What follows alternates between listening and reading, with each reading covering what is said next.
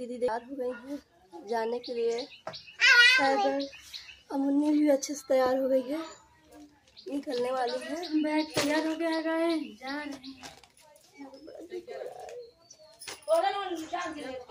आ, मतलब जाने वाली है समझ नहीं आ रहा। ए छोटू वो बना दे धोती वाली। गाइस तो दीदी जो है ना चली गई। अब हम अकेले हो चुके हैं।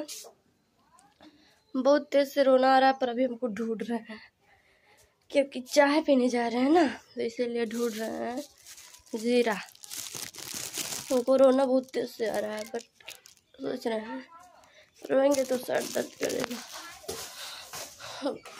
फिर से चाय बनाएँगे पियेंगे दीदी नहीं, बच्चा तो लगेगा नहीं ऐसे।